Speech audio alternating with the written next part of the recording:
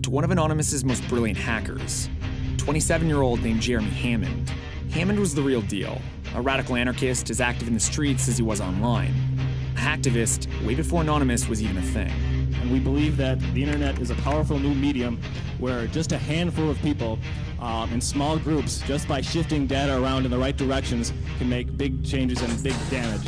Any method of disruption at any cost, any means necessary. Why'd you hack Stratfor? Uh, well, Stratfor was uh, a private intelligence corporation. They're uh, mercenaries. They're kind of like the uh, antithesis of, you know, the black hats, right? The uh, revolutionaries.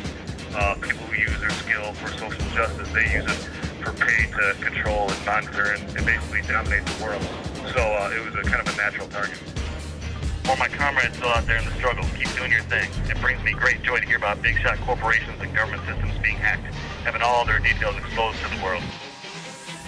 Well, turnabout's fair play. Some of the most elite hackers in the world got hacked. The group known as the Hacking Team is known for selling surveillance software to governments. Now, they're on the other end of a major security breach. Well, uh, well the hacking team is a private company. They're, what they do is normally, uh, from what we know, illegal.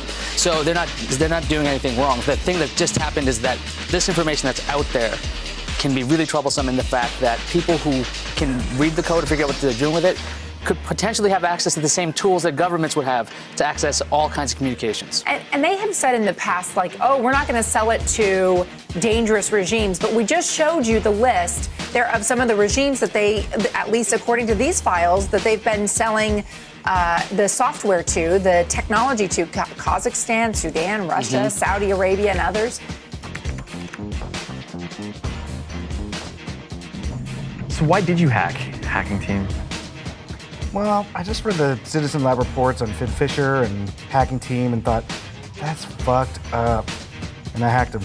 The vast majority of law enforcement resources everywhere are dedicated to monitoring threats to those in power. Not real crime, but threats to those in power. So, like 70% political, 30% real crime. The difference between authoritarian regimes and democratic ones is the hacking team customers jail torture, and kill, where the democratic ones are gentler ways of managing dissent.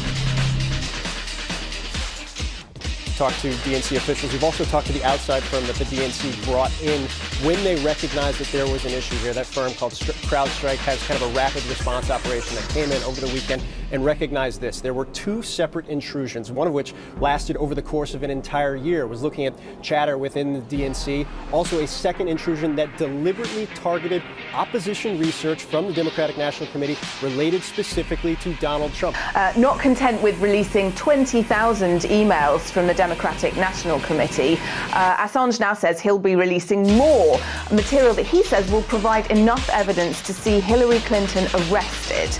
He's given a series of interviews uh, in which he says that there's no proof whatsoever that the emails that he's already released came from Russian sources.